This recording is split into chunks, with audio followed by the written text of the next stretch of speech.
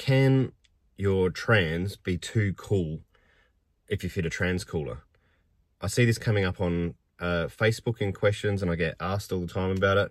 So I'm going to do a little video and explain my opinion on that topic. All right, come for a drive to work with me.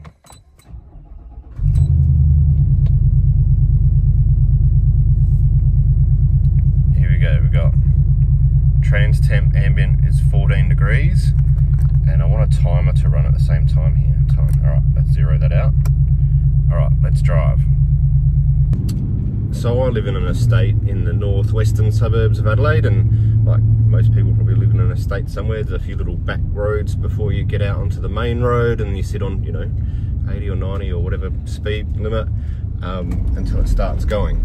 On my particular run to work, uh, after a few minutes, uh, and I get up to this, uh, I've got to go over a bridge, so there's a slight hill, I'm doing 90 k's an hour, and uh, I'm in fifth gear. Well, I'm in drive, but it's in fifth gear. And um, this will simulate, if I can get it to work today, if you do have a sick transmission or stall converter, if I can get it to work, what what the symptom is. Excuse the rattles in the back of the car. The back of the car's empty at the moment, so things are rattling around. Um, so, notably, this is for a later part of this video, but taking this stat, we've been driving for four minutes, 1.7 Ks. The engine temp or coolant temps at 67 degrees and the trans temp is at 26. That will become more important later. Give it a little bit of beans and as we get up to 90 Ks on the freeway and we're just coming up to that little slight hill. You watch what happens when I slightly accelerate up this hill.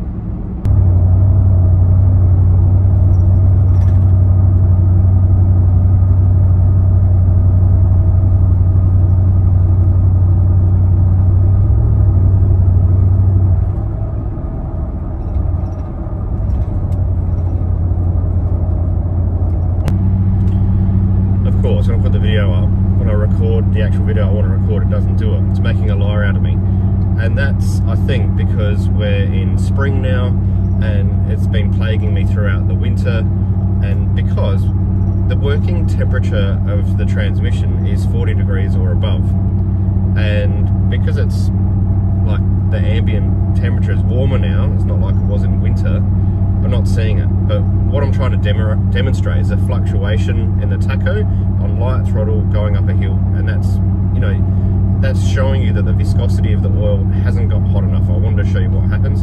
I reckon I might have recorded a clip in winter. I'll see if I can go and find that.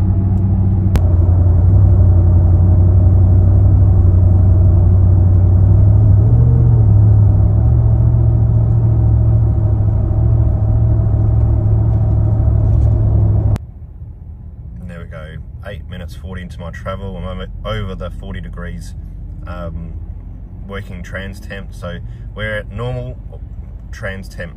Like it's going to get hotter, but it's it's in its working zone now within, oh, it's probably about six minutes to be honest. Um, note the um, engine coolant temp too. We'll talk about that more later too. So why did that trans oil heat up so quickly when I've got a trans cooler and I'm moving at 90 k's an hour? Well, let me explain the whole trans cooling and warming circuit to you. We're a bit low tech here, so it's whiteboard time. Uh, I'm going to try and show you this without getting in the way of the actual drawing. So, down the bottom here, and you're going to have to, if you're looking at this on your phone, maybe this is one to put on the TV at home. Okay, this is our cooling circuit. Uh, we have uh, the sump where it all starts. The trans pulls oil from the sump and it goes up through this heat exchanger device. Aha, you might not know much about this because we haven't really talked about it a lot. What this does, over this side, uh, coolant from the engine cooling system goes and there's actually like a, a heat exchanger uh, around the oil filter.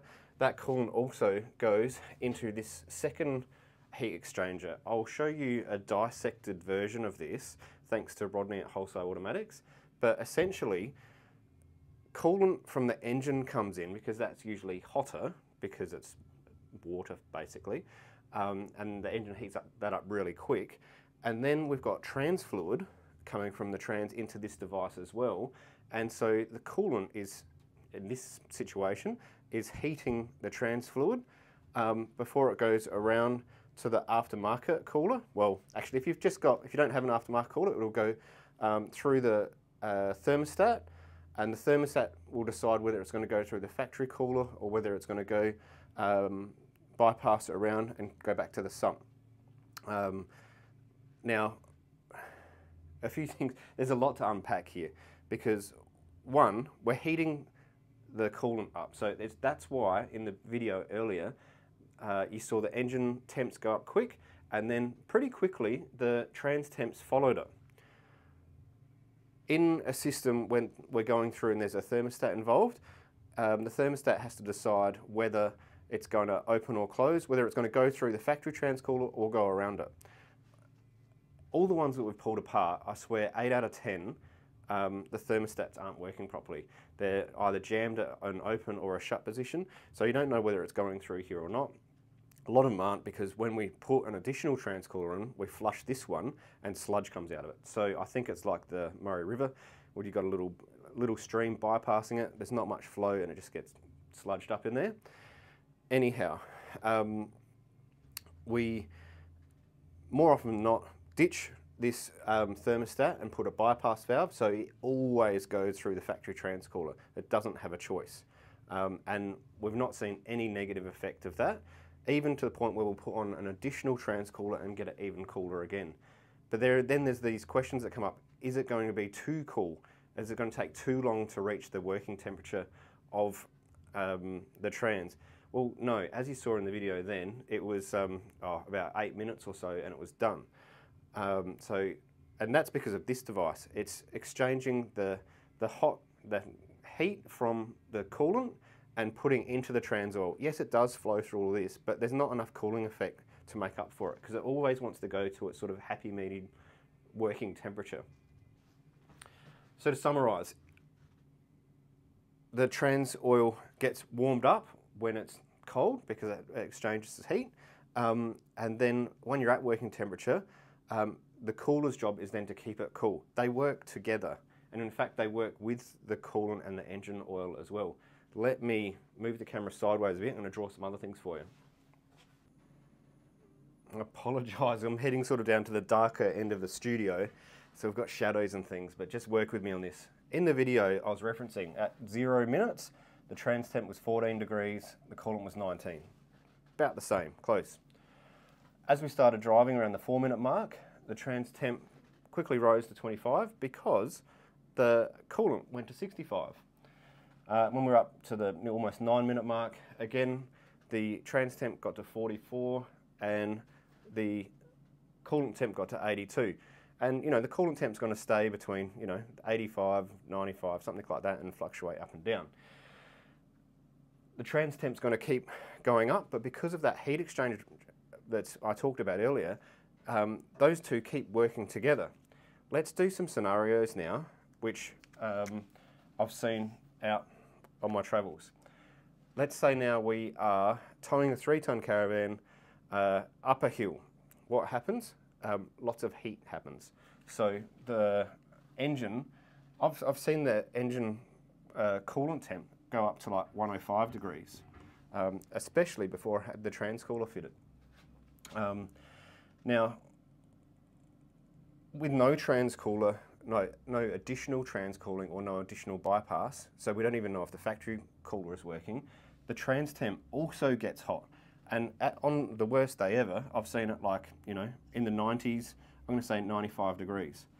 So a heat exchanger is designed to move, you know, thermal mass from one place to another. So at the moment, um, these two are trying to equalise. So the difference here, what's that? 10 degrees difference. So the equalising effect is, is very minimal. The, the thermal mass is going to retain pretty much the same. Um, when we put a bypass valve in, we'll do the same result over here, 105. Um, but with a bypass, this would quickly drop down to 85 degrees. So the difference between the two, hopefully you can see this, um, the difference between the two is now 20 degrees. So they're trying to equalize. So chances are the transmission oil is cooler and it's trying to cool down the coolant. So you actually get a cooling effect in reverse. We'll go to another sort of degree, like when we've got uh, uh, the wholesale automatics transcooler fitted, you know, we'll keep this at 105, wrong colour, sorry, black, 105, um, but this might now be at 75. I don't know what colour I've got now. sorry guys, 75, there we go. So now there's 30 degrees difference because we were able to get the trans um, oil much cooler. So now these two are trying to equalise and this is going to bring the coolant temp down. So not only does a trans cooler improve the cooling of the trans, it improves the cooling of the engine and the whole thermal mass of the vehicle. So like it's, it's such a good thing to do. So is there ever a reason where a trans cooler will be a bad thing for your car? Well, if you live in Australia, no. Um, maybe if you're, I don't know, in the snow or something like that, but with our Australian conditions, it's never getting that cold that like that it's not going to get over 40 degrees.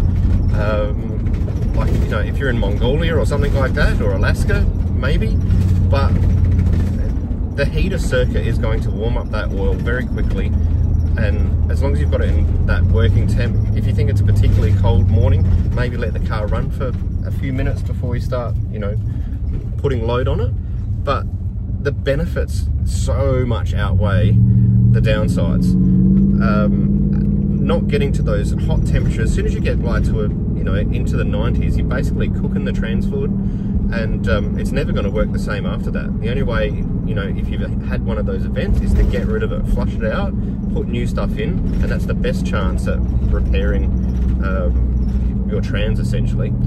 Um, in the beginning days, we could put some stuff in called anti-shudder, and that was like a band-aid, but it's just delaying the inevitable. But there are some sick transes out there. Mine's one of them. I did the first, I don't know, 90,000 Ks without any sort of trans cooling really pushing it with um, you know 35 inch tires, towing three tons.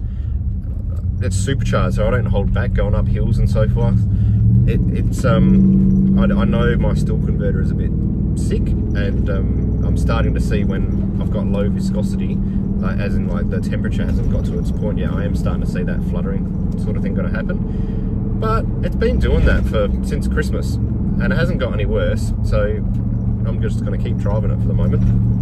Um, but people keep saying on Facebook whether you know the transmissions are you know bad in these cars. Well, they're not. You've just got to understand them and you've got to service them like any mechanical component. And the less um, heat cycles you can put your transmission fluid through, the longer and better it's going to perform. All right. I hope you got something out of that. And um, we'll keep doing these sorts of videos.